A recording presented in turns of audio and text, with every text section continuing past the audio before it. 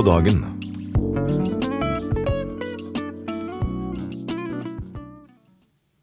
Hei og hjertelig velkommen til eh, dagens sending av Midt på dagen. Det er fredag, og det er eh, herlig å være tilbake. Vi har, vi har med oss Liv. Søvde Kalvik, ja. Så vi skal stå sammen her i dag. Det blir veldig gøy, Pernille. Det er så lenge siden jeg har sett deg. Jeg er veldig glad i deg, så jeg gleder meg til å stå her sammen Ja, jeg er kjempeglad i deg òg. Og nå er det lenge siden jeg har vært her, så jeg kjente at jeg bare får eh, abstinenser av å ikke være i dette studio. Så det er så godt å være tilbake. Det. Ja, det er veldig godt å ha deg tilbake. Og hjertelig velkommen til dere der hjemme, både på TV og radio. Vi sender jo både på DAB-radio og vi sender på Visjon Norge. Og så legger vi ut intervjuene våre etterpå. I hvert fall på Facebook, og også på YouTube. Det gjør vi, så det er bare å følge med på sosiale medier for de som vil se det igjen. Og så ja, nå er det en stund siden siste liv. Hvordan går det med deg? Jo, det går veldig bra. Det er fredag, det er 5. mai, det er mai. Det er mye gøy som skjer i mai. Nå, vi får flagge litt senere. Ja, det får vi gjøre. Frigjøringsdag og nasjonaldag, og i det hele tatt, eh, mai er en fantastisk måned. Det har allerede vært 1. mai, arbeidernes fridag, og da lå vi hjemme og sov. I hvert fall noen av oss. ja, det er vår, og det er mye bra åndelig og sterke møter som skjer nå i mai. Absolutt. Mye man kan være med på. Jeg var jo på et møte i går som var helt fantastisk. Og det var i Oslo-området? Det var i Oslo. Det var Moria Oslo, som altså er Moria i Grimstad, som har startet eh, menighet i Oslo. De har møte på torsdager i lokalene til Vinjard, og det møtet var altså så sterkt. Og vi fikk se mennesker bli satt i frihet, bli delivered, utfridd. Mennesker ble frelst, og Den hellige ånd var så sterkt til stede. Wow. Så jeg er veldig Ja, det var litt vanskelig å sovne etterpå, fordi det var bare så utrolig bra møte. Wow. Så jeg anbefaler de der hjemme å komme på de møtene på torsdager. I lokalene til Vinjard i Nydalen, altså i ja. Oslo. Mm. Mm. Så det så var herlig. helt fantastisk. Nydelig, nydelig, nydelig å høre. Og vi har jo med oss noen gjester her i dag. Hvem skal du snakke med i dag, Pernille? Ja, jeg skal snakke med en herlig jente som heter eh, Silje Kimberley Kulleseid. Som eh, er brennende for Jesus, og som har begynt å dele troen sin på sosiale medier. Og så skal jeg snakke med en som heter Ernst Christian Stølen. Han er artist og har gitt ut eh, to lovsanger og har et helt fantastisk vitnesbyrd og opplever masse med Jesus. Og så skal vi snakke med Karoline eh, Nyhaug, som jobber i UiO, eh, YWAM, som skal snakke om Descend, som er en konferanse som kommer nå i mai. Blant ja. annet. Og den skal vi filme herfra, ikke herfra, men vi i Visjon Norge er der for å filme. Og den sendes eh, både fra Ekebergsletta, eller Ekeberghallen, ja. og også fra Stavanger og Kristiansand, stemmer ikke det? det var, jeg visste ikke at Visjon Norge skulle filme dette. Eh, det ble jeg veldig glad for å høre. Jeg skal i hvert fall på den i mai, som er i Oslo. Så ja, bra. Ekeberghallen. Herlig. Så da, da, må dere følge med på Descend. Veldig masse sterke forkynnere der, og masse bra lovsang. Ja. Det gleder vi oss til, og det er ikke så veldig lenge til. 13. mai går den av stabelen, og det er mm. 10-12 eh, timer. 11, tror jeg. Mm. En hel dag med Guds nærvær og lovsang. Ja. Amen. Men hvem skal du intervjue i dag, da? Eh, jeg skal få snakke med eh, ei herlig dame som heter Toril, som skal fortelle hvordan hun mestrer livet eh, og etter det hun har vært igjennom som ung. Så det, det, blir en interessant og fin samtale. Og så har jeg vært en tur i Israel, ikke fysisk, men på en videocall og der har vi med oss eh, en som heter Shai. Det er en artist som har fusjonert og gjort et samarbeid altså med en norsk eh, organist. Så de har slått seg sammen og laget et studio i Ashtod der i Israel. I tillegg så skal vi prøve å få med oss en amerikaner som heter Scott, og han skal fortelle om hvordan han lever med Jesus i hverdagen. Så det her er en fullspekket sending med gjester fra fjern og nær.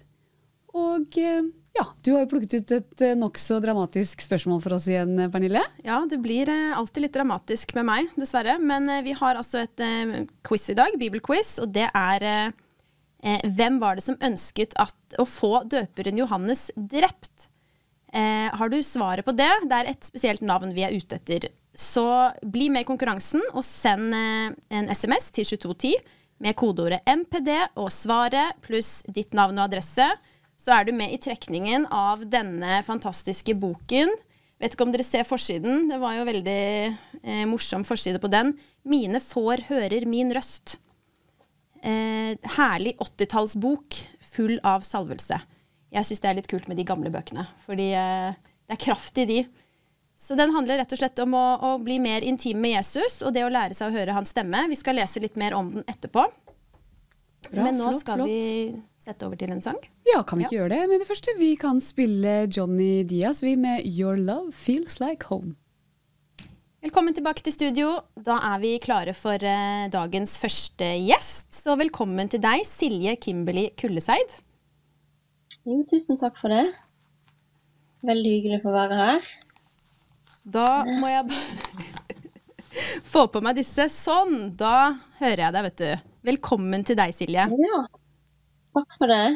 Veldig herlig å ha mm. deg med. Og du, jo, du, bor i Oslo, og så går du i en menighet som heter Puls, og du brenner for mm. Jesus. Men kan ikke du starte med å fortelle seerne litt om deg selv?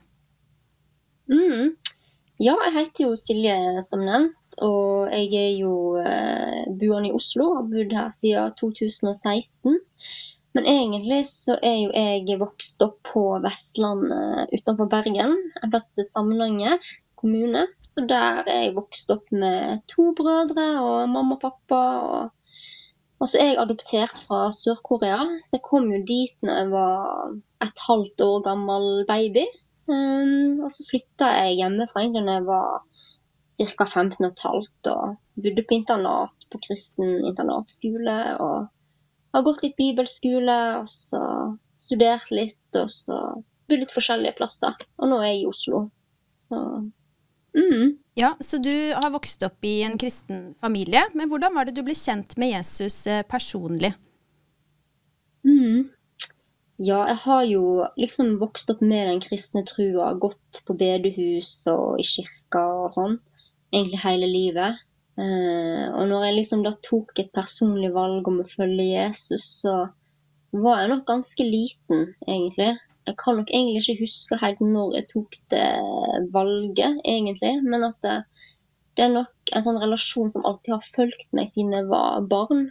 Uh, så mm, det var ikke noe sånn Aldri hatt noen sånn veldig sånn stor opplevelse med det. Men jeg kan alltid huske å ha hatt en veldig sånn personlig relasjon til Jesus da, siden jeg var ganske liten. Så det har på en måte fulgt meg gjennom barneår og ungdomsår og gjennom hele oppveksten, egentlig. Ja, så mm. fint å høre. Og jeg syns det er veldig sterkt å høre om, eh, om, barn som opplever Jesus, og som blir frelst fra tidlig alder av. Og mm. vi vet jo også da hva man blir beskyttet fra når man får lov til å, å vandre med Jesus gjennom barneårene og ungdomstiden og som voksen. Um, men du har jo mm. gått på en bibelskole, Silje. Fortell om denne bibelskolen og de mm. årene du hadde der. Ja, jeg gikk eh, to år på bibelskole på Akta i Stavanger. Eh, Imi kirka sin bibelskole. Så der gikk jeg fra 2009 til 2011. Tok to år der.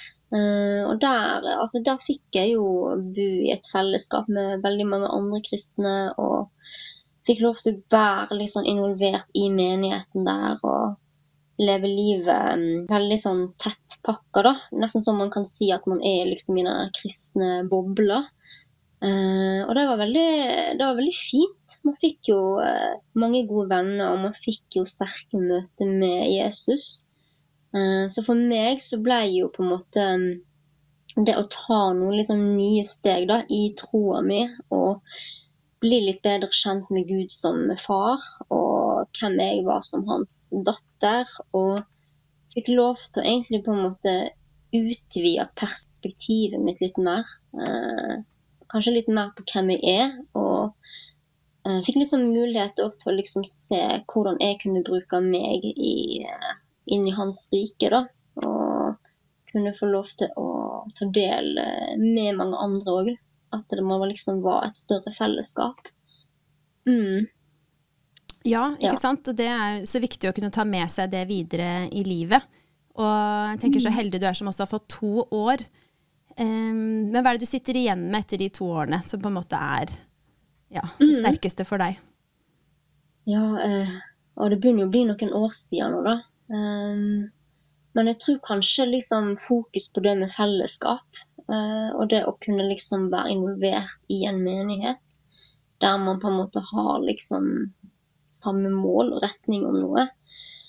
Um, ja, det tror jeg ble veldig viktig for meg. Eh, det med å liksom være et fellesskap og det å leve og bo sammen. For vi bodde jo sammen på noe som da het Mosvangen, da, som var på en måte et internat hvor uh, bibelskoleelevene bodde sammen på.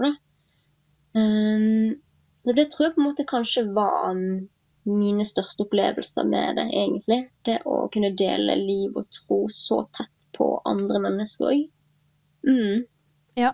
Og det å liksom se hvordan Gud virker midt iblant oss. Ja. Ja. ja. Mm. Utrolig fint å høre. Men eh, også i dag så er du jo aktiv i menighet og huskirke. Mm. Eh, og du går i en menighet som heter Puls. Eh, Mm. Fortell om denne menigheten. Ja. Um, ja. Det er en veldig fin menighet. Jeg begynte å gå der i 2020, på høsten. Uh, og da var det jo ehm, Det var jo litt sånn andre tilstander med pandemi og sånne ting. Jeg hadde gått veldig lenge i en annen menighet. Og så kjente jeg at jeg nå trengte bare noe helt nytt og litt forandringer. Eh, Så begynte jeg å gå der og kom inn i en veldig fin Connect-gruppe, som da er liksom mindre gruppe man kan ta del i. Eh, og det tror jeg var veldig behjelpelig med tanke på pandemi og nedstenging og sånn. Eh, så ble jo ting veldig sånn begrensa.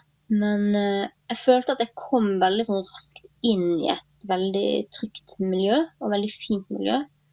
Eh, og det var en litt større menighet enn det jeg var vant til å gå i fra før, som var litt mindre.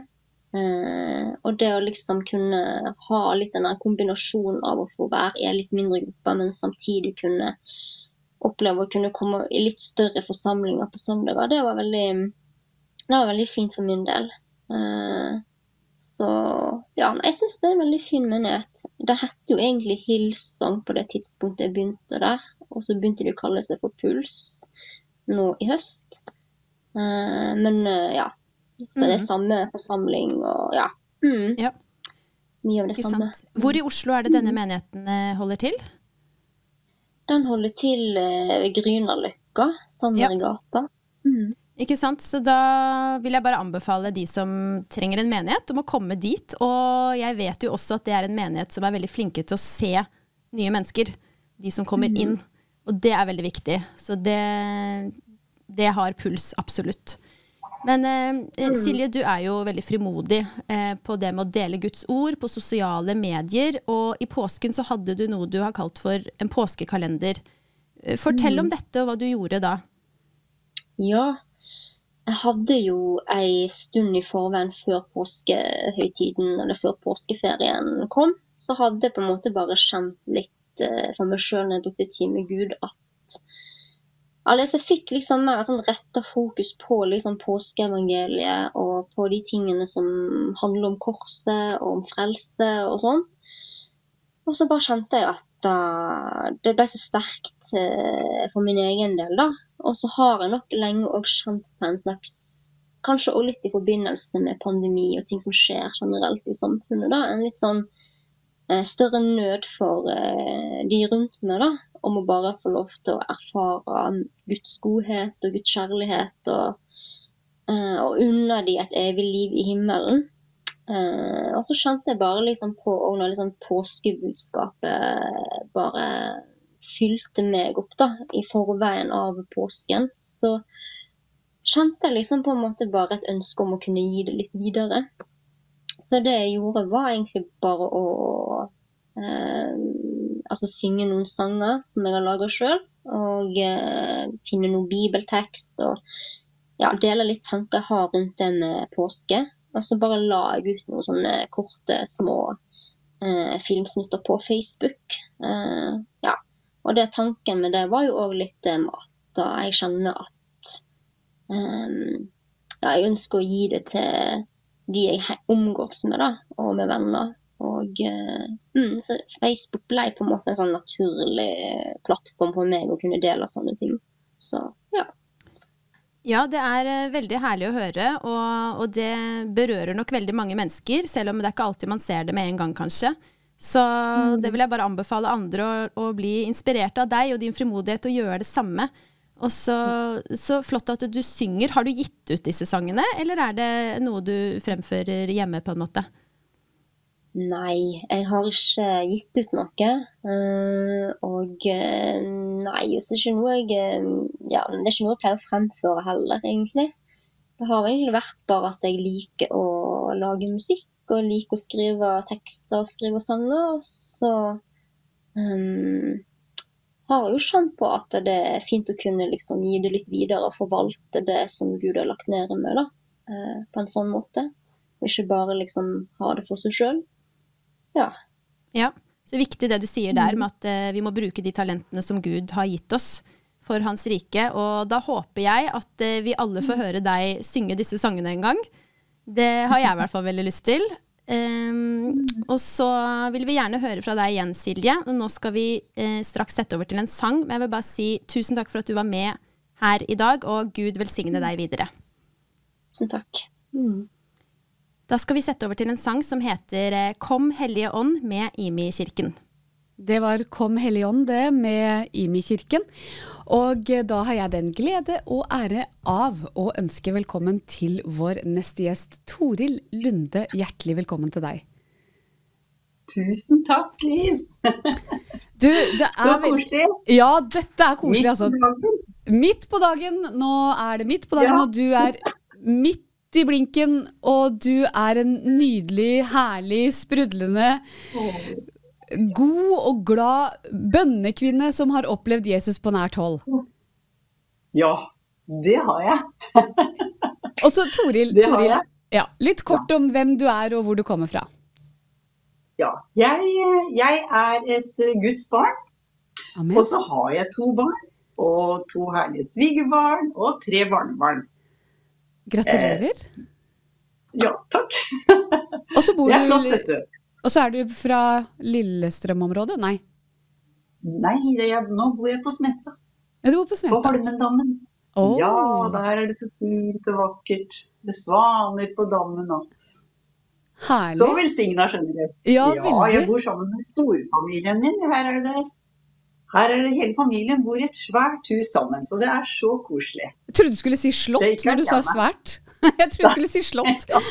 Du bor i et slott. Det er ikke så langt unna. det er veldig flott. Det er i hvert fall veldig flott.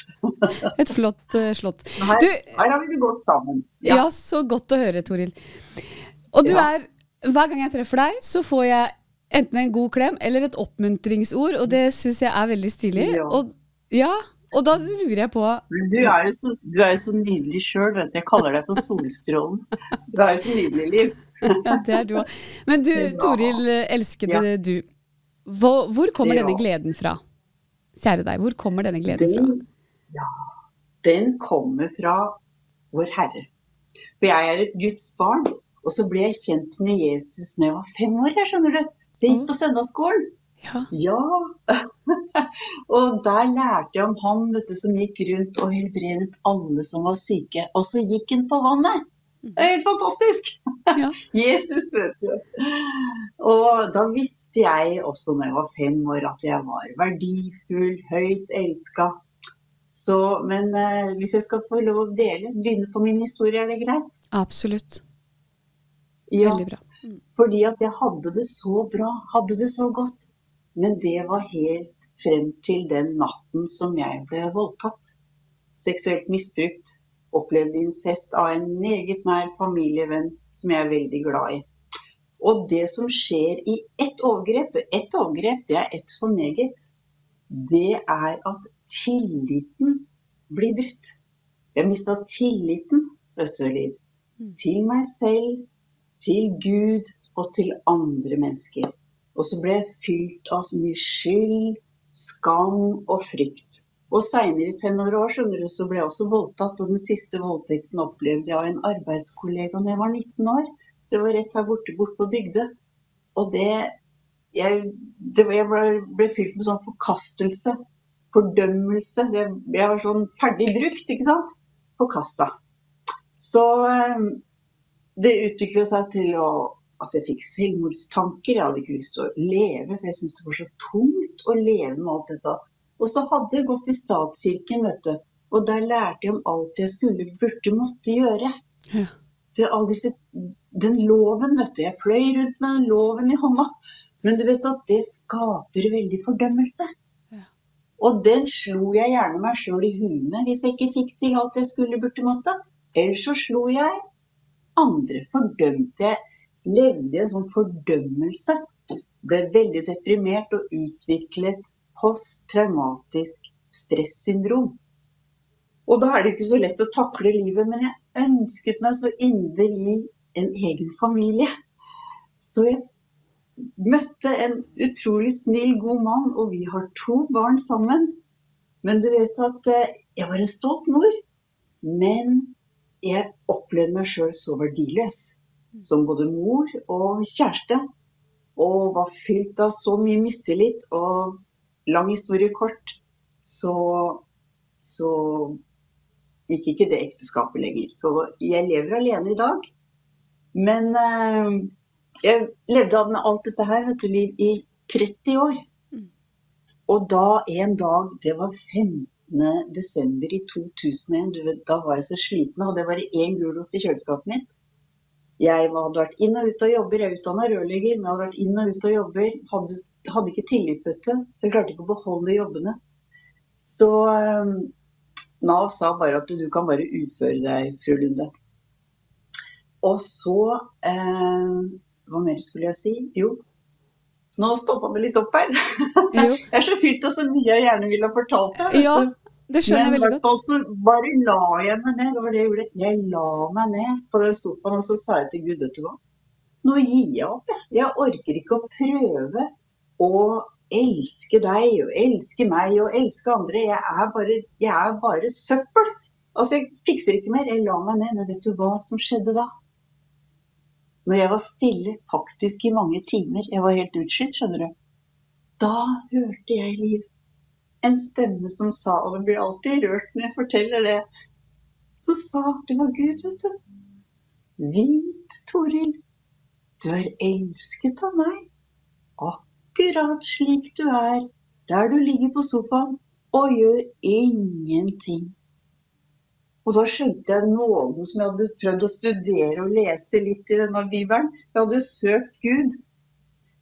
Men da opplevde jeg en sånn verdi så at jeg sa til Gud Gud, elsker du meg? Og da hørte jeg meg selv si Jeg elsker deg! Og det, det var en av de største dagene i mitt liv, altså. Så da, der og da fikk jeg verdi, og så visste jeg, for her var det ikke noen følelser. Det var ikke noen følelser i det hele tatt. Så ja, så, kom, så langt kom jeg. Men der og da startet mitt liv. Mm. Og det, jo- det er jo lenge siden, 2001. Men der, vet du, da opplevde jeg og forsto det som står i Guds ord, om at jeg elsker Hvorfor det? Fordi han elsket meg først. Ikke sant?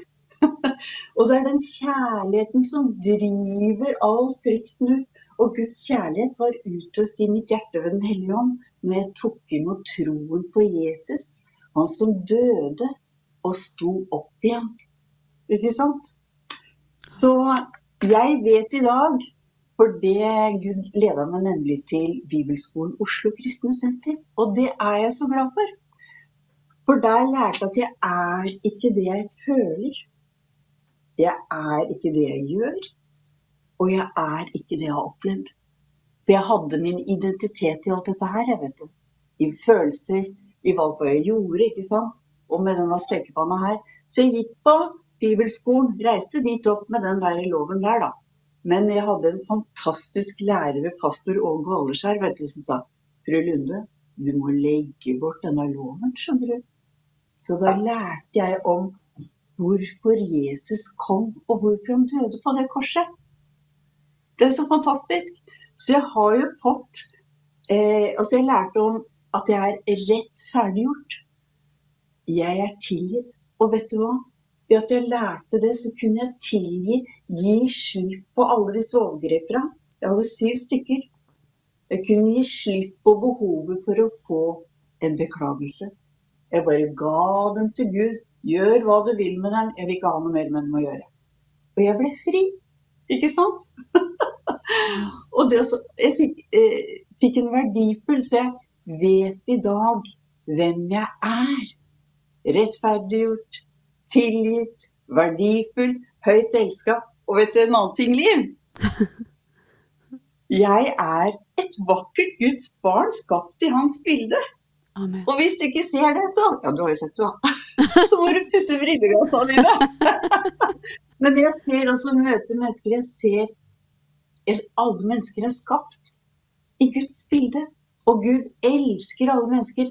Men ja, han hater de seksuelle overgrepene.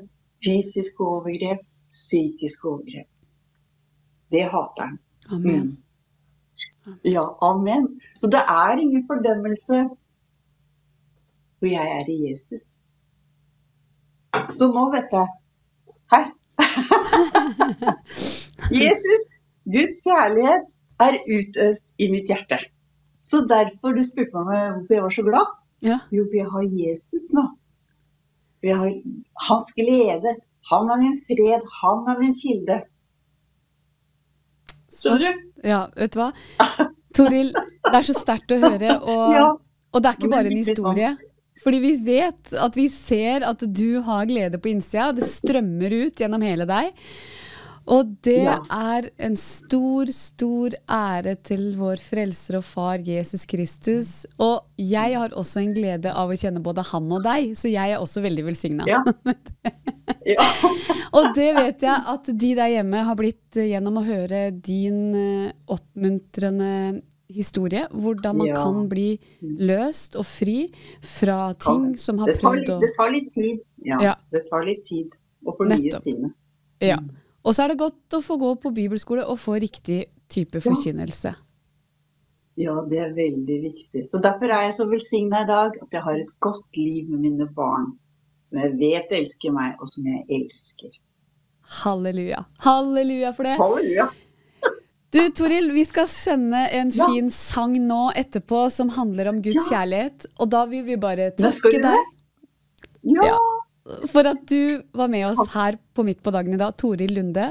Ja. Vakker kvinne som har Jesus Takk. på innsida. Tusen hjertelig takk. Takk skal du ha. Fortsatt velsignet dag til deg, Liv. Takk det samme, Toril. Ja. Og det var godt å høre og en sterk historie der. Og med det så setter vi over til eh, Same God, heter denne sangen, med Hannah Kerr. Hør på denne. Da er vi tilbake etter en herlig sang der, og vi har med oss vår neste gjest. Velkommen til deg, Karoline Nyhaug. Tusen takk. Karoline, du eh, jobber jo i UiO, YOM, og så er du redaktør i Motmålet, får vi se. Ja.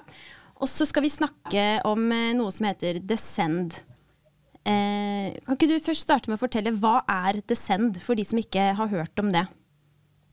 Ja, Descend starta egentlig eh, egentlig i USA med en, eh, med en stor samling, stadiosamling i Orlando, der de rett og slett eh, inviterte unge mennesker til å komme sammen for å um, høre forkynnelse, lovsynge Jesus og bli utfordra til å leve et helhjertet liv for, for Jesus da, og det han kaller dem til.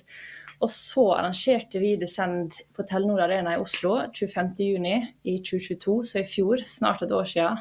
Der vi samla rundt 9000 mennesker. Unge og, og uh, eldre, egentlig alle generasjoner sammen. Uh, der vi hadde samme budskapet. Det å leve helhjertet for Jesus og bli kalt til å praktisk kunne ta steg ut i det man opplever uh, det ser ut som i, i livet, da, og, og følge Jesus. Så det er egentlig det det handler om. Fra troa. Troa skal være handling. Og så vil vi hjelpe unge mennesker på veien dit, da. Ja, ikke sant? Og Descend er altså en veldig stor konferanse som varer en hel dag. Er det tolv timer, eller hvor lenge er det det varer? Det stemmer. Den på Telenor Arena det var et kjempestor event, så den varte i tolv timer. Nå når vi skal arrangere i vår, så er det lokale eventer, så de er litt mindre. Og så var de ca. ti timer hver, da. Så det er fortsatt et langt møte. Så det er en sånn dagskonferanse, dagsarrangement. Ja, og jeg var jo så heldig at jeg var på denne i Telenor Arena i fjor. Og det som er så sterkt, er at på en måte, når du har tolv timer med lovsang og sterk forkynnelse, så blir det jo et veldig sterkt gudsnærvær i lokalet. Eh, og jeg så jo også at mennesker ble fylt av Den hellige ånd, noen talte i tunge for første gang, og, og mennesker fikk veldig sterke møter med Jesus. Eh, så jeg lurte på, Kan du fortelle noen vitnesbyrd fra, fra hva folk opplevde i fjor, på desember i fjor? Ja, jeg tror du har helt rett i det. Jeg tror først og fremst bare den kraften av å stå sammen. Vi hadde en kirkeleder som fortalte oss om en familie som sto rett foran, som sto rett foran han i folkemengden. Eh, og så var det en, en, mamma og en pappa som sto der, og så kom deres springende mot dem. Og så sa han det at man, altså, ser dere, vi, vi, vi er ikke alene. Vi er ikke alene om å tro på Jesus. Og så hadde det gjort skikkelig inntrykk på han gutten. Og det tror jeg er jo en sånn det gjør det verdt det når man kan samles på den måten eh, og, og, gi en sånn her boost til de som kanskje står alene da, i hverdagen om å følge Jesus på skolen sin eller i, eh, der man bor. da. Eh, men det er sant, vi, jeg tror vi så mange som fikk lov å møte Jesus på en eh, helt spesiell måte. Som fikk møte Den hellige ånd. Vi har historier om mennesker som opplevde å bli fylt av Den hellige ånd for første gang. Som eh, opplevde et gudsnærvær som de ikke har opplevd, opplevd før. Vi så eh, folk bli helbreda. Personlig så ba jeg for venninna mi som hadde en kne, vondt i kneet eller en kneskade helt på, helt på slutten av kvelden. Eh, så vi la hendene på og ba enkel bønn, og hun ble helbreda i kneet. Og det var hun bare en av mange. Så vi så mange, mange som møtte Jesus, mange helbreda, og mange som eh, også tok imot Jesus for første gang. Så det var veldig spesielt. Ja, det er fantastisk å høre, og sikkert masse mer som har skjedd eh, som vi også ikke vet om. Jeg er veldig spent på årets eh, tre eventer. Eh, for det skal jo være tre steder i år. Kan ikke du fortelle hvor og når og hvilken som er først? Så skal vi få opp litt bilder på skjermen også. Stemmer.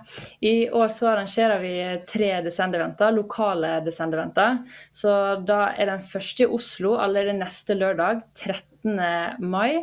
Så det er bare litt over ei uke til, så der er vi i innspurten. Um, yes, den andre er 27. mai i Kristiansand. Og så uh, er den siste da i, uh, den siste i, uh, i, Stavanger eller Rogaland, og det er 10. juni, da. Og da er egentlig tanken å, tanken å, samle mennesker fra de områdene. Og selvfølgelig tror vi at det kommer folk tilreisende, spesielt fra den i Oslo. Eh, og så Det som er litt unikt denne gangen forhold til på Telenor Arena, det er at det er samarbeidsorganisasjonene som, og kirkene som følger opp eh, de som har respondert da, på de forskjellige mulighetene som vi presenterer på det sende, lokale kirker og organisasjoner. Så det er enda mer, enda tettere oppfølging og, og et mål om å gjøre det enda mer praktisk å følge Jesus der man er, da. Ja, ikke sant. Og så er det jo Jeg husker også i fjor så var det også fokus på misjon, det å reise ut. Eh, hvor man bl.a. kunne komme i kontakt med gjennom Descend og få, få vite om ulike misjonsturer som kommer. Kan du ikke si litt om dette misjonsfokuset? Jo, vi har jo fire utadretta muligheter som du faktisk kan respondere på i en app. Så i løpet, av, i løpet av, kvelden så vil du på en måte få forskjellige appeller, invitasjoner til å, til å respondere på å være, tørre å være kristen, skal du si, eller eh, åpen om troa di på skolen, i nabolagene. Eh, og det å nå ut til sårbare barn, og så den siste som er misjon. da. Og Da inviterer vi eh, både de som har lyst til å reise på misjonstur, til uh, ulike plasser i verden, eller så er det noen som får det misjonskallet, da. Uh, folk som ønsker faktisk reise ut i langtidsmisjon, og da følger vi dem opp og, og, og, hjelper dem på veien dit da, til å faktisk flytte ut. Men eh, vi tenker jo at eh, som kristne så skal vi forholde oss til de til nasjonene. Vi er et kall til nasjonene til å be, til å sende mennesker og til å reise sjøl. Og det er, det er, viktig for oss at preger det sender, at vi tar stilling til de unådde folkeslagene, de som aldri har hørt om Jesus før. Så det, det er en veldig viktig bit av det Sant? Jeg syns det er kjempebra at, eh, at, dere har fokus på det, og at det gjør det praktisk lettere for folk å engasjere seg da, og kunne melde seg på disse turene. Og, og også om man ikke har muligheten til fulltid, så er det muligheten til kortere turer. Men eh, i fjor så var det jo også en del internasjonale talere som kom på besøk. Kan du si litt om eh, Kan du nevne noen av talerne vi kan eh, forvente oss eh, i år, i Oslo f.eks.? Ja, det er jo litt ulikt fra, fra, event til event, men i Oslo så har vi en del lokale, eller norske talere. Det er et mye større norskt preg i år enn det det har vært det det var på Telenor Arena. Da var det kanskje 50-50 med internasjonale og norske, mens denne gangen så har vi et enda høyere fokus på norske talere og lokale bidragsytere. Så noen av de som kommer, er jo f.eks. Øystein Gjerme, leder for pinsebevegelsen. Sebastian Stakseth, eh, som er fra Sverige. Eh, vi har Hans Christian Skaal, leder for NLM Ung. Eh, Joakim Magnus, som har vært leder for Ungdom i oppdrag i Oslo, og som nå leder Skaperkraft. Det er noen. Luke Greenwood eh, kommer. Han er jo han, han jobber med evangeliseringstjeneste i Tyskland og har en sterk kobling til kirken i Oslo, så han kommer og skal dele med oss. Um, I tillegg til uh, noen, noen, flere, da. men det er vel noen av navnene som skal holde litt lengre appeller da, i løpet av dagen. Ja, det blir kjempebra, og jeg har store forventninger til uh, årets Descend, alle tre stedene. Vil anbefale folk å melde seg på. Men uh, er det for sent å melde seg på den i Oslo, eller er det ledige billetter? Hva kan folk gjøre som har lyst til å melde seg på dette her? Ja, det er, det er, masse ledige billetter, og det er bare å melde seg på. Det er ikke for seint. Du kan kjøpe billetter på, på, eh, ved å gå inn på Instagrammen til eh, Descend, og da vil du få den linken, linken her, eller på descend.no. da. Så hvis du går inn på descend.no, det er lett å finne Oslo helt øverst på nettsida, og der kan, man, der kan man melde seg på og kjøpe billett. Mm. Ja, og helt til sist, hva er eh, dine forventninger til årets Descend? Jeg tror først og fremst det er at vi eh, får møte Jesus. At eh, unge mennesker får et personlig møte med Jesus. Jeg tror at eh, det kommer til å være folk som kommer seg ikke-kristne, og som kommer til å ta imot Jesus den dagen. Det ber vi om å ha, ha tro for. Um, og så tror jeg at det blir et stort uttrykk av at vi, at vi ikke står alene. Ingen står alene om å tro på Jesus. Krafta i det å komme sammen. Jeg tror den, spesielt den unge generasjonen i dag, de er en veldig kollektiv generasjon som, som gjør alt i lag, og som der tilhørighet er viktig til vennene dine. Så jeg, jeg tror òg at det er en viktig bit av det. At vi står i lag om å, om å følge Jesus. Og så tror jeg at mennesker blir kalt. Kommer til å bli kalt til å, å være engasjert i kristent arbeid på skolene sine. Til å dele om Jesus med vennene sine. Til å engasjere seg i menigheter. Til å reise ut i misjon. Um, så vi tror det at den dagen at troa for at den dagen blir et før og etter i mange sitt liv, da, der du opplever at eh, forkynnelsen og det å bli fylt med Den hellige ånd kommer til å um, føre til, at, eh, til handling og, og en kallsopplevelse for mange. Ja. Det er eh, fantastisk å høre, og da skal vi be for denne konferansen. Og vi er veldig spente på å se ettervirkningene i ettertid.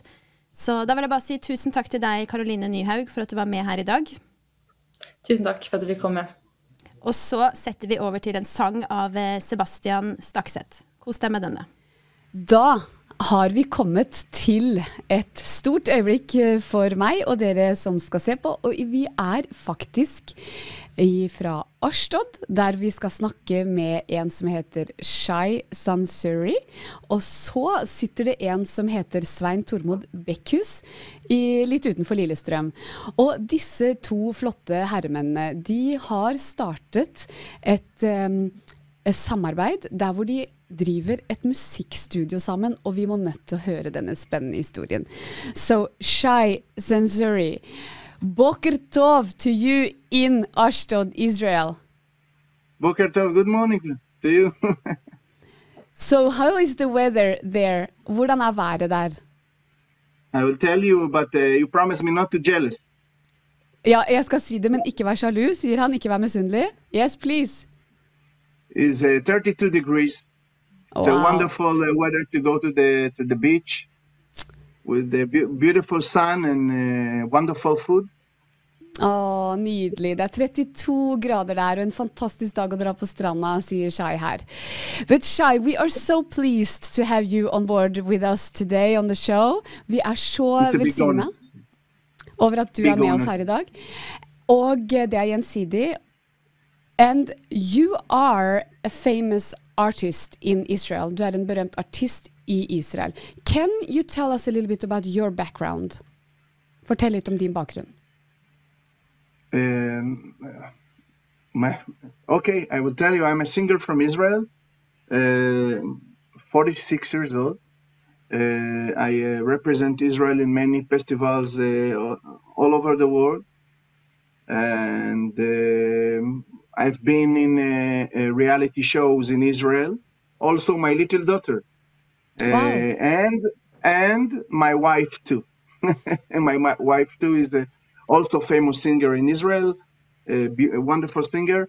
And uh, um, this is uh, all my background to tell you because uh, when you are uh, performing, uh, let's say 26 years, I'm uh, earning money from uh, from uh, my uh, art. So uh, life goes like uh, one big show. Yes, wow, I will translate for you. Så uh, jeg har vært uh, en sanger og er en artist i Israel. Jeg har vært i flere reality shows. Jeg har også opptrer i både jeg og min kone Zlil, som uh, også synger, og min datter til og med. Så det er litt av min bakgrunn, og jeg har holdt på med dette i 26 år. Amazing, amazing. And a little bit later on we're gonna see uh, a recording of both you and your wife that's uh, from um, this uh, reality show, um, The voice. The Voice. And we are very blessed to hear that your voices are just magnificent. Så det, Oh, vi skal se, det, det vi skal se litt senere, det er at de synger begge to. De er med på The Voice. Både kona hans Zlil og han selv har vært med i The Voice. And now, this is just so exciting because we have been coming across information that you have a collaboration with a Norwegian guy. And how did this collaboration and what is it about? Can you tell us? Og nå har du, du har funnet et samarbeid med en flott norsk mann.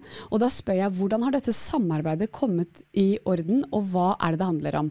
Can you please tell us, uh, Shai? I, I can tell you it's a brother from another mother. Yes, det er en bror og en annen mor. To forskjellige mødre, men det føles som en bror. Uh, when I uh, represent uh, Israel in some festival in Yurmala in 2010, it was a fan, it was a guest that came also to, to play something in this festival. And I uh, met uh, Sven. Uh, we talked a little bit. It was a small talk. And we just changed phones. And after two years, he decided uh, to make a big festival in Israel, a, a famous uh, uh, festival in Israel. Uh, uh, and he need uh, uh, my uh, copyright with him uh, to start the- project. And uh, he came to, to my place uh, in uh, in Ashdod in Israel, and uh, we just talked. And uh, I, I saw he had a beautiful soul, and uh, we have a lot of uh, uh, uh, connection uh, together. And uh, we decided to open a studio in, in Ashdod, in the city of Ashdod, that he is very uh, love uh, and uh, hang uh, here uh, many, maybe uh, five times a year. Uh, Wow. So uh, we make some, we took some place and we make overall, and uh, we make uh, our dream come true. His dream come true to make some business in other country, also in Israel, is not simple country at all because every two months, you know, I, Ashdod is uh, very close uh, uh, to the Gaza, Gaza, Gaza city, uh, Gaza state, Yes. and uh, uh, we are uh, uh, suffering a lot from uh, every two months, three months. We're suffering uh, from rockets. Uh, you know, uh, imagine that uh, you live in Oslo, and uh, uh, every two months. Uh, neighbor, your neighbor send you a, a rocket. Uh, see, see? Wait, a- wait a second. ok, yes, så jeg skal, få, jeg skal um, oversette her. Det som skjedde, og jeg må jo bare si aller først hjertelig velkommen til samarbeidspartner og kantor og organist i Den norske kirke, Svein Tormod Bekkhus. Takk. Og nå skal jeg prøve å gjengi denne fortellingen som, eh, som Skei har uh, sagt i forhold til deres møte. Men egentlig så kan jeg spørre også deg om det, Svein Tormod. Hvordan dere møttes. Så vil jo det her bli noe av den samme historien. Kan ikke du også fortelle det med egne ord? Jo.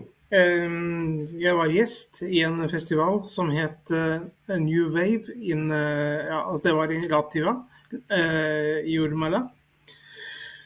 Og um, jeg hørte altså det israelske teamet som sang på denne festivalen. Og eh, Shai var blant dem, og eh, jeg fikk kontakt med han i løpet av denne festivalen. Flott. Det var jo det han også fortalte om, at dere hadde bare begynt med litt sånn eh, forsiktig smalltalk, snakket sammen, utveksla telefonnummer, dere, og han også kjente at uh, her var det noe samarbeid, og at uh, denne Svein Tormod fra Norge er en vakker sjel, skrev, sa han, og det var jo veldig fint. Så kjente du, Svein Tormod, at det var en connection der med en gang? Helt klart. Så spennende. So what I'm saying now to uh, to Svein Tormod uh, Shai is that he felt a connection with you right away, and uh, this connection, what for for a non-musician like me. What is the base of this connection, uh, Shai? Jeg må bare si, uh, tolke. At denne, I can tell you one word. Yeah, the, I can tell you one word. Okay, okay. The word is love we found each other, and uh, we know that we are brothers uh, from other universe and uh, from other math. You know, I told you for another mother, but it's it's we found each other. We found a, a, a, very uh, good uh, uh, conversation between two of us, and we found we share a big love from from for music and uh, you know I, I, I found uh, the best musician I ever made. And uh, he has a, so much talent. And uh, also uh, he's so quiet. And uh, it's his gift he, I think he got directly from from God Amen. Ok, så I have to interpret. Så det som Shai sier her, er at uh, han kjente virkelig et sånn brorskap, og, og, at Svein Tormod med sin vakre, stille sjel, at han er en veldig talentfull Du er en veldig talentfull musiker, Svein Tormod uh, Bekkhus. Og uh, da må vi sette, kaste ballen litt over til deg. Hva er det du driver med, Svein Tormod? Ja, jeg eh, jobber som organist. Jeg spiller orgel og piano, synger. Jeg spiller litt fiolin. Komponerer. Um, så det dirigerer eh, kor av og til også. Mm. Så det, det, det, er det jeg lever av og lever for. Amen. Og så har du akkurat eh, fullført en mastergrad, vet jeg? Ja, jeg har jobbet uh, flere år med en mastergrad uh, om Telim, eller Salmenes bok. for jeg ville vite litt mer om bakgrunnen og røttene til musikken som jeg jobber med til daglig. Og jeg har langt på vei funnet en del likheter mellom ulike tradisjoner som kan gå tilbake til tempelets tid i Jerusalem. Oh, wow. Veldig spennende. Så Okay, I'm sorry you don't get to hear everything, Shai, but you know this guy from before and you know his talent, which is great. And vi, vi snart så skal vi få Vi skulle så gjerne hatt et lengre intervju med dere, men vi har ikke så mye tid uh, her på Midt på dagen. Men vi er very grateful to promote this And we love this, that this is a collaboration between Israeli guy and Ashdod, and also together with a Norwegian guy, and both have love for the music, like you say, Shai. And it's difficult to live in Israel, and it's it's very like the passion is very strong, and the passion for music is also very strong. But I just have to ask uh, Svein uh, here. Um, du må fortelle litt uh, mer på hvordan dette studio, musikkstudio kom i orden, Svein Tormod. Jo, vi møttes i Arstad eh, i januar 2013. Eh, um, og så, eh, etter at vi møttes, så møttes vi med en eh, kamerat av seg som uh, sa at han har uh, et lokale som han gjerne ville leie ut, og som kunne brukes til f.eks. et studio. Kult. Og da prøvde jo å finne ut muligheten for å få tak i materialer, og, og begynte å bygge og, og, gjøre om et lager til det vakre studioet som du ser i bakgrunnen eh, der Shai sitter. Mm, herlig. Og så er det jo veldig spennende. Du velsigner Israel eh, på denne måten, Svein Tormod Bekkhus. Og jeg vet jo også at du du bryr deg ikke om dette med antisemittisme eller hvordan jødene fremstilles i det norske media, fordi du har jo også vært styremedlem i MIF, med Israel for fred, stemmer ikke det? Jo, det er riktig. Jeg eh, er også medvirkende med musikk eh, innenfor MIFs regi. Flott, altså. Uh, Shai, you we're gonna hear a little bit later after we finish. We're gonna have this uh, beautiful um, performance that you have had in The Voice, you and your wife Zlil, and also we're gonna hear the music. Uh, instrumental music from Svein Tormod. Can you tell a little bit of your story around that instrumental music, uh, Shai? Uh, when I met uh, Sven in the first time, he just uh, played me uh, a lot of his uh, wonderful uh, music. and still, my little baby was in, in her, the, the stomach of my wife. she was pregnant. Yeah. And that that music, before we, we recorded, I uh, my wife called uh, Sven and told him, please, Sven, before you leave back to Norway, I have one question for you. He asked, uh, what? Can you play this uh, wonderful melody?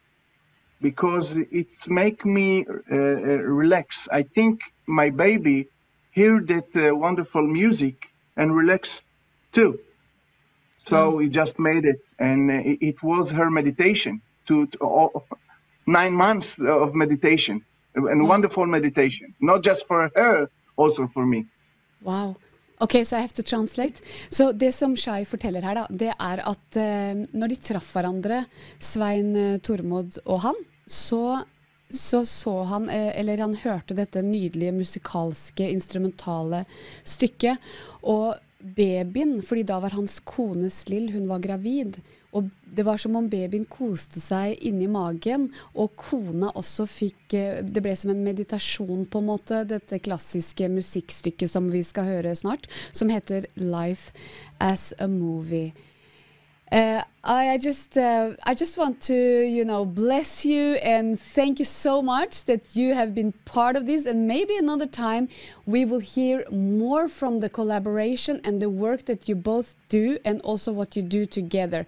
We are so excited to present this the studio that you have in Ashtod which is a collaboration between Svein Tormod Brekkhus and Shai Enzlil Sansuri. Thank you so much and all the blessings from us here Norway to both Ashtod and uh, Frogner utenfor Lillestrøm til deg, Svein uh, Tormod Bekkhus. Takk. Thank you very much. It was it was a big uh, pleasure, big honor, and uh, I wait for you in the beach of Ashdod. Amen to that. Så Gud, Gud velsigne dere. Og Shai sier at eh, han venter på oss, eh, at vi skal komme ned til stranda i Ashtod. Tusen, tusen hjertelig takk at dere kunne være med oss her i Midt på dagen i dag. Og da skal vi spille dette stykket med, som er komponert av um, kantor og organist Svein Tormod Bekkhus, 'Life as a Movie'. Hør Da er vi tilbake i studio her, og vi har med oss eh, vår neste gjest. Velkommen til deg, Ernst Christian Stølen. Tusen takk. Veldig hyggelig å ha deg i studio. Ja, takk. Og eh, Ernst, du er jo artist og har gitt ut eh, noen sanger som vi skal, selvfølgelig skal høre etterpå. Ja. Mm. Men eh, først kan ikke du starte med å fortelle litt eh, om deg selv? ja jeg, heter, eh, jeg heter da Ernst. Eller noen sier Ernst Christian, de fleste sier Ernst. Jeg er da trebarnsfar, har kone fra Statene, som er Lincy. Hun, hun er faktisk oppvokst i Reading, California. Så jeg møtte hun der når jeg var i Reading for noen år tilbake. Så mm, ja, jeg bærer da et hjerte for, eh, for landet vårt, og for å se Norge frelst. Og har eh, flere drømmer, flere visjoner, flere hendelser som jeg tenkte jeg kan fortelle om etter hvert. Hvor eh, Norge skal få lov til å se Gud røre Norge. da. Vi skal få lov til å se Gud røre landet vårt. Ja, Så sterkt å høre. Og du har jo også vært på bibelskole i Reading, som du fortalte om. Og eh, noe jeg forbinder med deg, er at du er veldig brennende for Jesus, og du har dette engasjementet. Du Ja. har liksom holdt den eh, gnisten og hungeren etter å se eh, Gud virke her i Norge. Ja, Og så skal dere også plante en menighet. ja vi, skal, vi skal plante nordlys. Eh, det er altså en lang historie rundt det som jeg ikke rekker å berøre i dag. Men eh, vi er en da, vi er en, da en del av eh, Vi er linka mot Catch the Fire, da, mot Toronto. Så vi, vi har en del eh, eh, hva skal- bekjentskaper dit, og en del eh, kontakter der, som eh, holder oss i ilden. Så sammen med Herren, da, selvfølgelig. Så mm, Ja. jeg, har, jeg kom jo til Norge og tenkte at eh, etter, etter å være berørt av Gud i Statene Statene Også før jeg dro dit, har jeg også flere ting som skjedde. Men jeg kom til Norge og kjente at vi kan ikke stå stille. Jeg har sett så mange som kommer fra DTS eller bibelskoler. Så kommer de liksom, så står de stille, og så dør flammen ut. Så jeg tenkte vi kan ikke, vi kan ikke stå stille, vi må gjøre noe. Så vi starta bare i husfellesskap når vi kom. Eh, som ble sterkt. Dårlig timing med at det ringer. ja, det går bra. Eh, jeg skal skru av. Ja. Nei, så eh, Ja. jeg kom tilbake med, med den inn, starta husfellesskap, og så ble vi etter hvert ungdomspastorer i Krokstad. Eh, så Gud rører mennesker der. En liten bølge av ilden. Og ble etter hvert kalt da av en engel til å komme til Oslo. Så det var litt spesiell hendelse, det òg. Det er ikke, ikke sikkert jeg rekker den i dag heller. Jo, men uh, Fortell om den. Vi har tid til det. Og Altså, Ja. synes Det er veldig bra det du sier med at uh, mange kommer fra DTS, og så slukner ilden. Mm. Da er det så bra vi har sånn som deg og din kone, som bare er med å løfte mennesker opp og tilbake til den første kjærligheten. Men Fortell Ja. gjerne om den engelen. Det er veldig interessant. Nei, vi ba. Vi lurte. Gud, hvor, hvor skal vi? Hva gjør vi? Vi var ungdomspastorer. Um, og den, eh, den eh, jeg føler, Hvis jeg skal begynne å snakke om den, så liksom, hvor, hvor detaljert skal det bli? For det kan bli, det kan bli en stund. da. Men, eh, men i hvert fall, jeg fikk besøk av en engel på rommet. Eh, og i, det som skjedde da, er at jeg lå, jeg lå inntil senga med øya igjen. Så hører jeg at det dunker på døra. Og så sier jeg 'hello, guys' på engelsk. Kone er amerikansk. Jeg prater engelsk hjemme. Det er mye på engelsk, da. 'Hei, guys. Og jeg bare, det høres ut som en jeg kjenner, så, så jeg, bare, jeg bare sover videre. Så hører jeg det dunker på soveromsdøra. Og vi bodde i andre etasje over da, vel å merke. Uh, og um, han sier igjen 'Hei, guys'. Og jeg tenker åh, det er, det er en venn. Hvis jeg kjenner den stemmen. Jeg bare later som jeg sover videre. Men så åpner døra, og jeg ser en, en skikkelse som kommer inn. Som jeg ser med blotte øye, selv om jeg har øya igjen og med hodet andre veien. Um, og han har Øynene var som å se på universet. Det var som galakser og stjerner, så jeg klarte ikke å se den i øya. Jeg måtte se den på brystkassa istedenfor. For det ble så sterkt. Jeg ble sugd, følte jeg ble sugd inn i evigheten. da. Um, og han eh, peker på meg og sier 'You need to come right now'. Og jeg sier eh, OK. uh, should, I, should I call my friend? For han hørtes ut som vennen min. da. Uh, nei, du må komme nå. Uh, ta resten på norsk, da. Jeg sier OK. jeg skjønner ingenting. Jeg hopper opp av senga og titter meg rundt, men jeg ser ingenting. Men jeg hører han puste, og jeg kjenner skrittet, hører skrittet komme nærmere. Så jeg lukker øynene igjen, og det er som jeg kommer til en større realitet igjen. Han peker på meg du må komme nå. Jeg har kalt mange ungdommer, og du må komme nå. Eh, og jeg uh, sier OK. uh, skal jeg ringe vennen min? For jeg vet ikke hva jeg skal spørre om. Og sier, ja, så sier han jeg har, jeg har utvalgt for denne menigheten. Så sier han Paul. Og så kommer han med fire andre navn, jeg, ikke, tre andre navn som jeg ikke klarer å få med meg, for han sier et etternavn. Jeg tenker Paul Manring, Paul ditt, Paul det. Aner ikke hvem det er. Så jeg glemmer alt det andre han sier. Og så sier han, stopper han å prate. Og jeg, hva er han egentlig sa for noe? Så sier han du må komme nå. Jeg bare, ok, ok. Så går han ut døra, da han sier du må komme nå. Uh, det er egentlig historien din med engelen. Så kom til Catch the Fire Oslo nå, var beskjeden jeg fikk. Så vi dro. Uh, vi, vi ringte styret og sa vi hadde allerede planlagt å finne veien videre. Og det var retningen vi fikk, så vi, vi kommer til å eh, gå over hit, til Oslo. Og vi kom bare som uh, folk først, men så ble vi pastorer etter hvert der. Ja. Så har jo covid skjedd, og litt forskjellig har skjedd, og vi har uh, fått en visjon om å starte Nordlys uh, i Oslo. En, eh, at menigheten blir navnet Nordlys, da. Ja.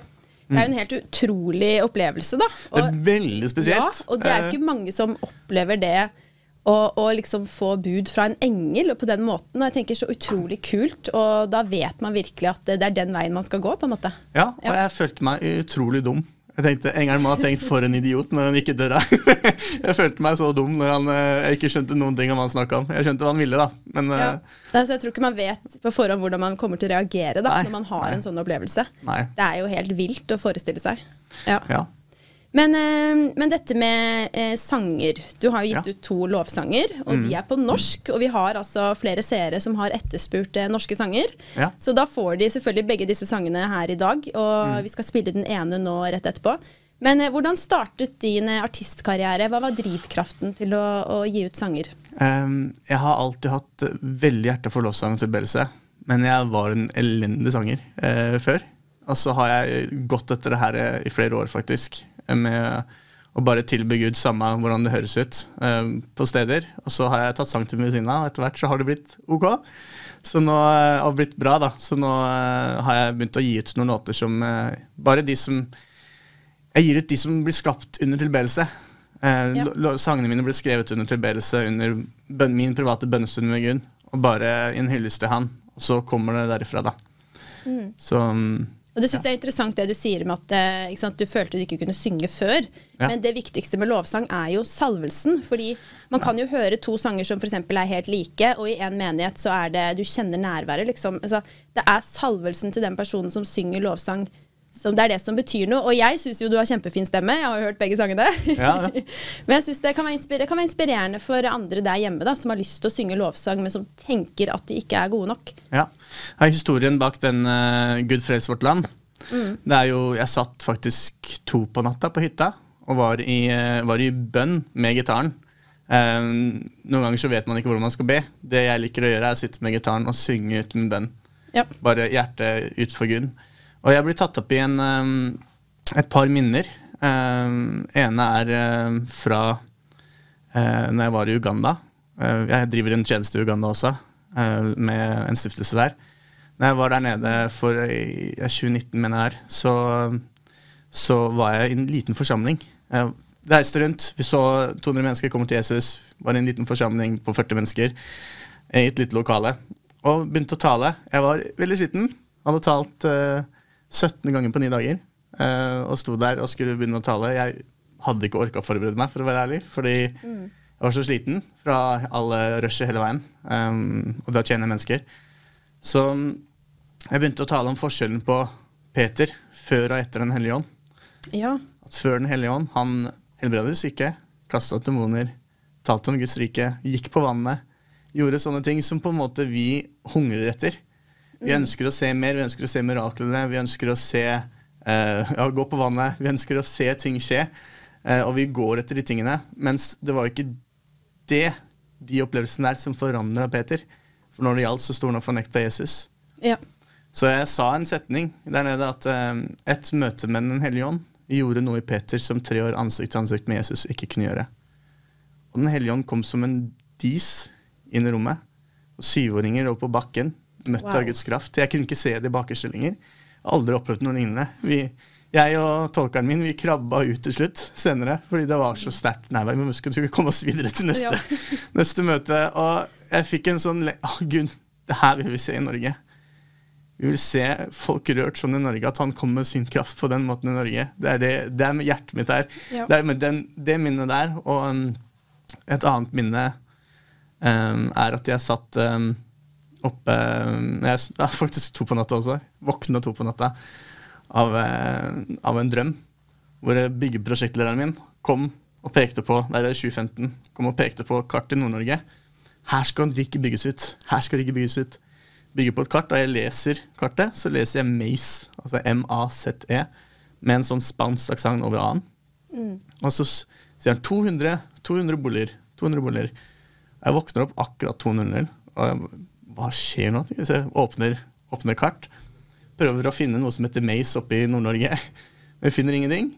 Så ser jeg til slutt der Han pekte jo her. Så zoomer jeg og zoomer inn, og der står det Masi. Oi. Og jeg googler Masi, og da kommer det samiske navnet som står Mace. Med, Matse heter det. Ja. Med en spansk aksent over annen, men bygd på 200 mennesker. Som er oppe i Nord-Norge. Og jeg har aldri hørt om bygden før noen gang. Jeg begynte å be for det her. Jeg ble også utfordra, fordi vi så jo um, 20-30 ungdommer komme til Jesus på den tida. Vi hadde en bølge av Den hellige ånd inn i hvor folk begynte å falle i salen uten at eh, de visste Ja. hva det var. Jeg måtte stoppe og forklare hva som skjer. Det er bare ikke Gud som på en måte gjør det, men mennesker reagerer sånn når Den hellige ånd kommer. Og liksom fortsetter å bare Nå søker vi Gud videre. Så mm, veldig spesielt. Og jeg trodde liksom nå skal vi se en vekkelse røre landet. Nå skal vi berøre Norge. Nå skal liksom vekkelse spre ut fra lille Krokstad ut til hele landet. Så fikk jeg den drømmen midt oppi. Og jeg ble utfordra. Hvis vekkelsen starter der oppe i Ja. Masi, langt unna, eh, og har ingenting med oss å gjøre, så bør jeg være like begeistra og takknemlig for det som det skulle vært her. Ellers har det blitt ja, mer mitt rike enn hans rike. Ja. Og jeg bare la meg på knær og omvendte meg fra, fra ting jeg ikke visste at jeg bærte.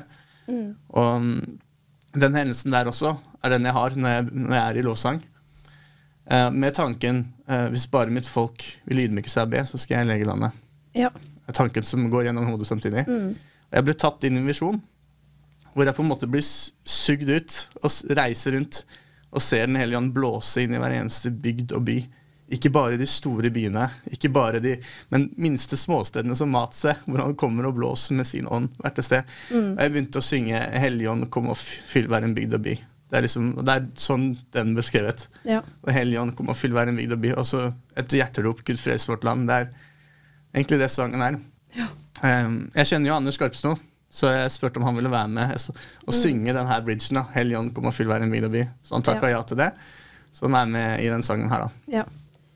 Utrolig sterkt å høre hvordan den sangen ble til, og du må definitivt være gjest her igjen, fordi jeg, jeg kjenner at det er mer vi må høre om eh, fra ditt liv, rett og slett. Og jeg kjenner Den hellige ånds nærvær når du forteller fra disse møtene i Afrika og her i Norge, og det er det det handler om. Det er at mennesker må bli berørt av Den hellige ånd, og at Den hellige ånd må få gjøre det han vil.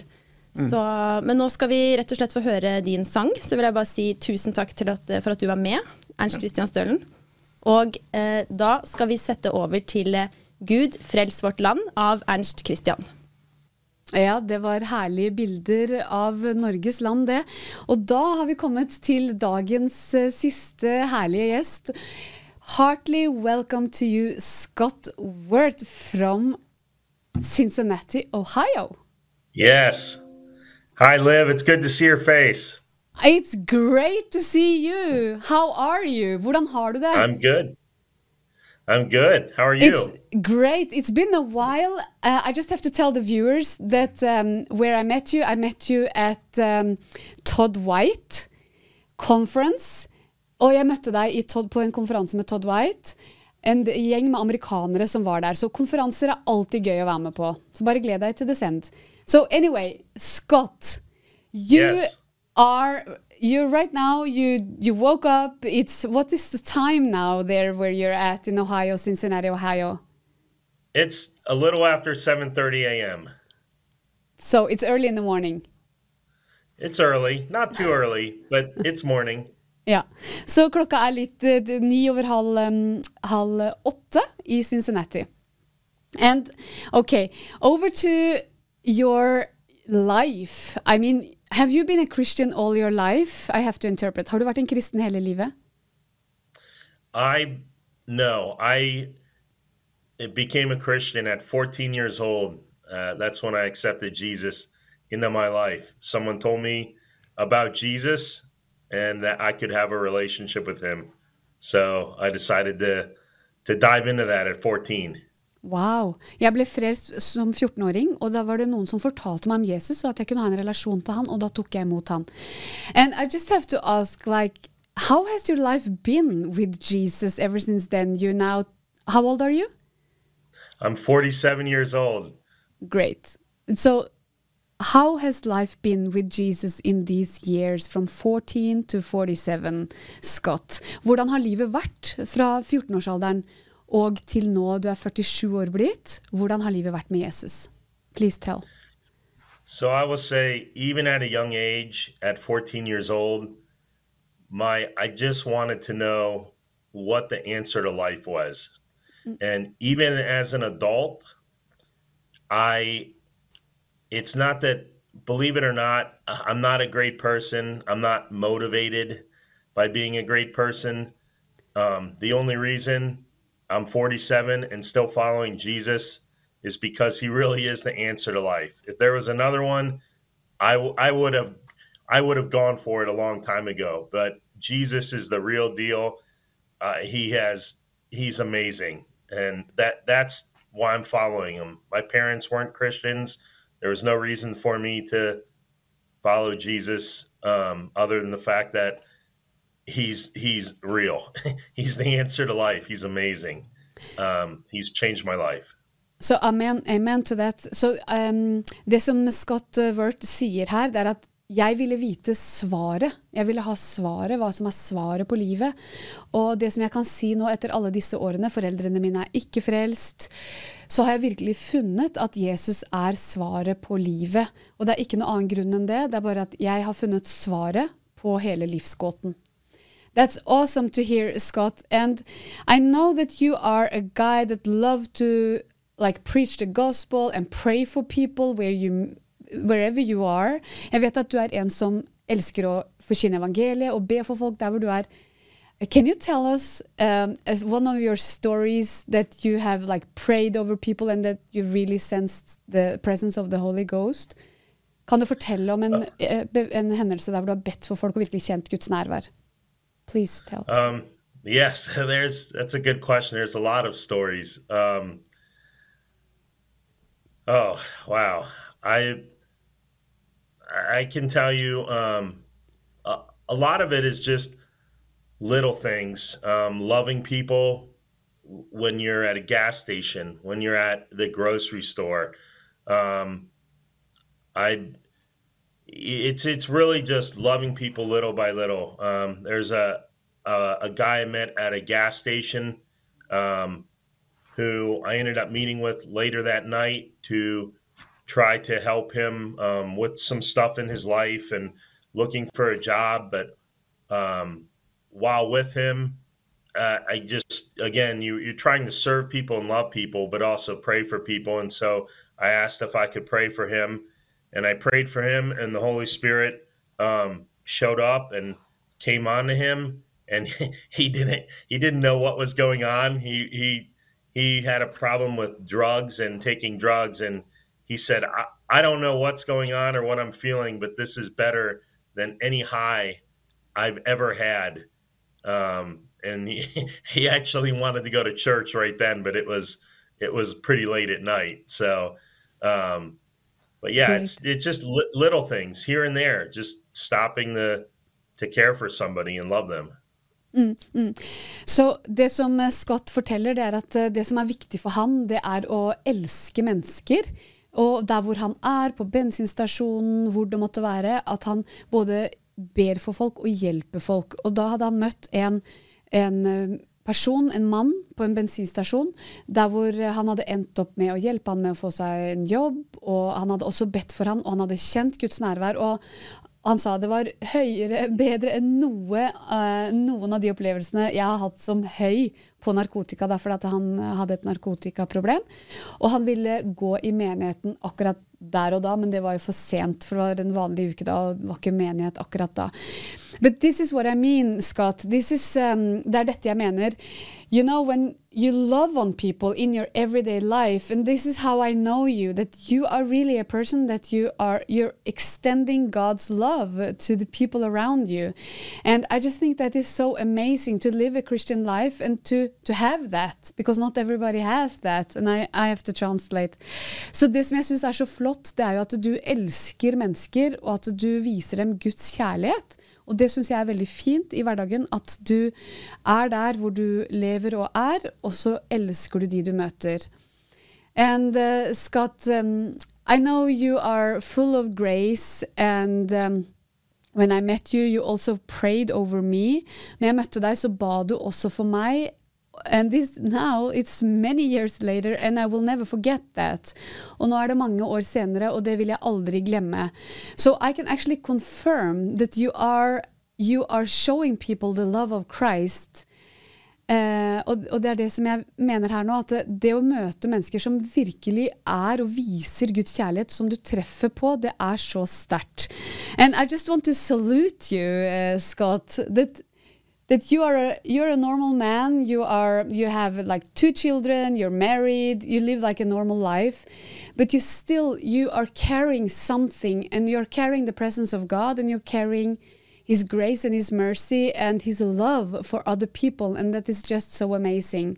Så han er en vanlig mann med kone og to barn lever et ganske vanlig liv og allikevel så bærer han med seg Guds kraft, Guds velsignelse og nåde. Og jeg vil bare salutere det. Og jeg syns det har vært kjempefint å møte deg.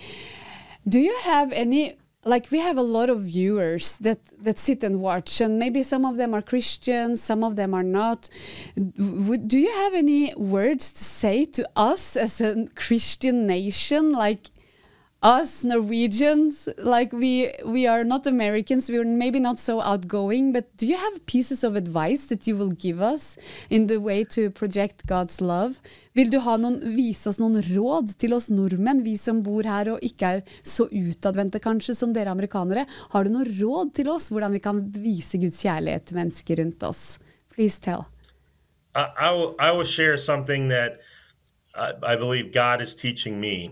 Um, and may may be a benefit uh, to people of Norway and Scandinavian countries.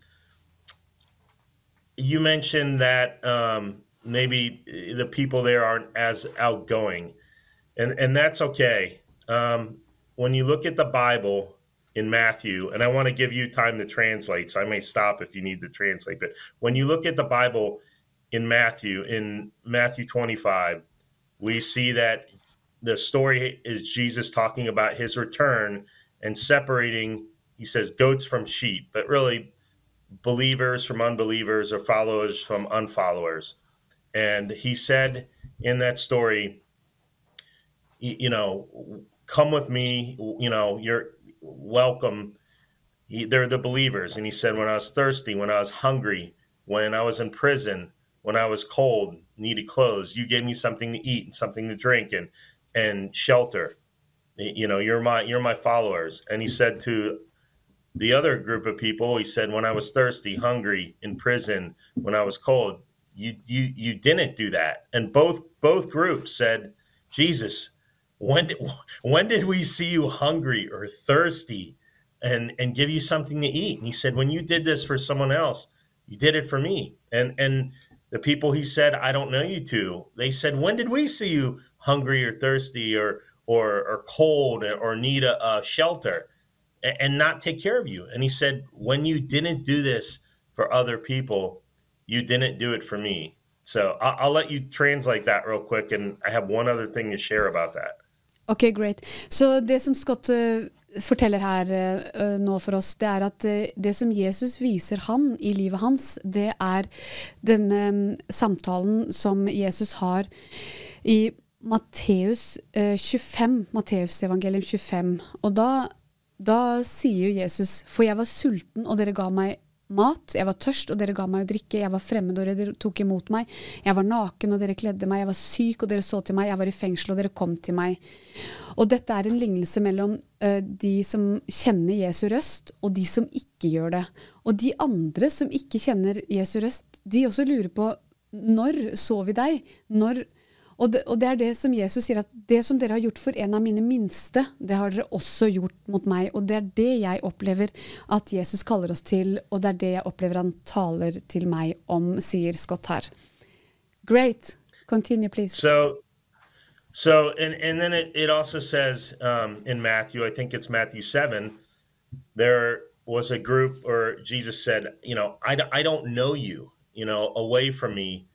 And th- this is when he's talking about his return. And they said, But Jesus, we cast demons out in your name. We prophesied. You know, we, we did all these miraculous things. And he said, I, I don't know you. So they're, they're, and those are good things, prophecy and casting out demons and, and the Holy, you know, these, these acts of the Holy Spirit are good things. But the reason I'm sharing this is because as Christians, a lot of times we think that's the focus. Oh, if I'm really uh, walking with Jesus, I always need to be doing these miraculous things or going up to strangers on the street and asking the Holy Spirit to come on them and casting demons out, things like that. And that's that's not the things we see that um, God lifted up when He's talking about people standing before Him. Um, really, the, it all comes down to love God with everything you have and love other people. And I, I, that's something your your viewers, just average people like me, can do every day.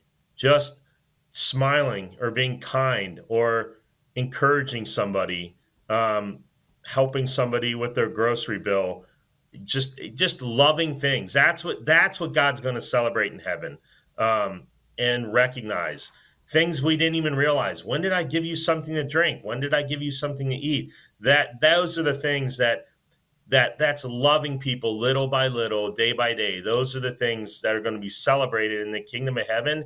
I believe even more than prophecy and casting out demons and, and other the other good things, but just love people, love God. That that's really all it comes down to. That's what that's it. Everybody can do that. Amen to that. Det som, uh, som blir uh, understreket her fra Scott, uh, det er at vi må elske mennesker. Han bare tar noen enkle for forslag. Bare vær god mot folk, smil til folk, betal regningen til noen som ikke har altså råd til å betale for matvarene sine som står foran deg, f.eks. i kassa. Bare vær god. Og, og han henviser også til Matteus 7. Eh, så det er jo skriftsteder man kan lese etterpå. Og, og Scott uh, legger, kaster lys på det med at, uh, at vi skal elske mennesker, el, altså elske hverandre, og elske Gud først, selvfølgelig. These are beautiful words of uh, wisdom's God, and this is all that we had time for. But thank you so much for waking up early in the morning to be part of this, and God bless you and your family so much. Thank you. Jesus loves you, Liv. You're awesome. You are too. Thanks. This, thank you so much. Scott Worth from Cincinnati, Ohio. Thank you so much.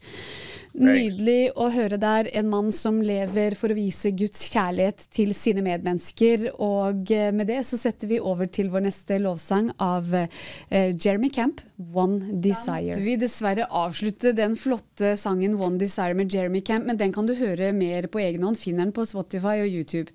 Vi nærmer oss slutten på programmet, vi, Pernille, og vi har trukket en vinner på ditt flotte quiz-spørsmål. Og hva, hva er svaret på spørsmålet?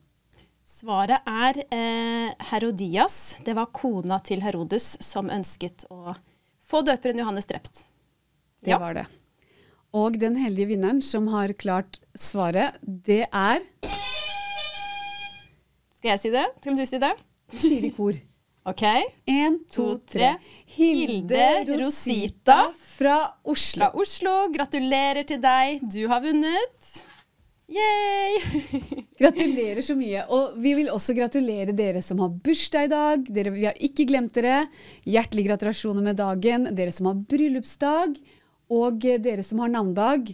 Gud, I hvert fall en, en Gudmund som har navnedag. Gratulerer til deg. Og Gullbjørg. Og Gullbjørg. Ja. Og med det, Pernille, så ønsker vi våre seere og lyttere en hjertelig velsignet helg. Og bare ta imot Guds gode velsignelse, ja. Takk for oss. Takk for oss.